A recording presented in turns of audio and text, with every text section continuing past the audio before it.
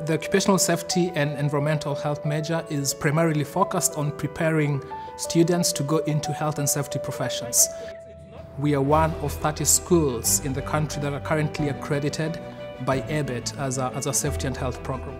We are very science oriented, but not theoretical science. I'll give an example. I always tell students this you learn all the chemistry, but you go to the fire prevention lab and you blow up stuff in a good way.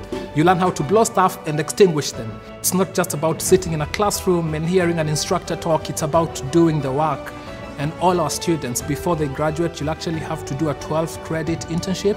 Because of that experience, a lot of them are getting really good jobs right out of college.